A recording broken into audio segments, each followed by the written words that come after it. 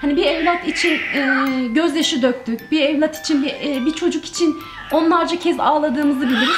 Kendi evlatlarımızda buna maruz kalmasını tahammül edemiyordum açıkçası. E, o şartlar altında da çocuğun doğması beni strese sokuyordur ister istemez. Yani ne olacağını bilmeden e, o ortamda e, hapishanede de doğabilir bebek. İşte e, göz altında da doğabilir. Veya bir işkenceye veya farklı bir şeye maruz kalıp farklı şeyler de olabilir diye endişelerim vardı herkes gibi. E, sevin yani rahmetin geldiğinde evladımın olmasına seviniyordum ama korkularım vardı tabi. Bu benim için bir rahmetti aslında evladımın doğması. Ama korkularım da vardı her anne gibi.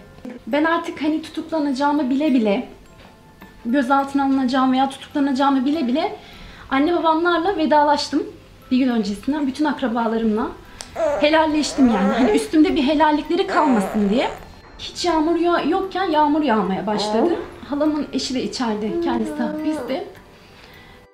Ee, o sırada halam şunu söyledi. Yani şu an dedi o kadar çok yağmur yağıyor ki her yağmur damlasının indiren melek gibi yere düştüğü iz düşümü gibi Rabbim seni korusun dedi.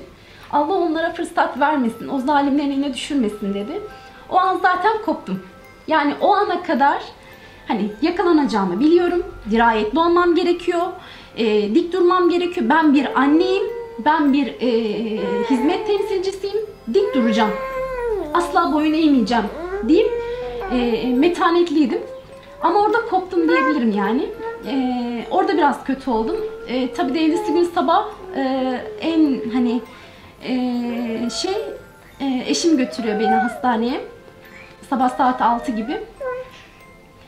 Vedalaştık e, eşimle belli bir yerde. E, tabii en kötüsü de bütün çocuklarımın yanında olup doğumunda o an yanımda olamaması.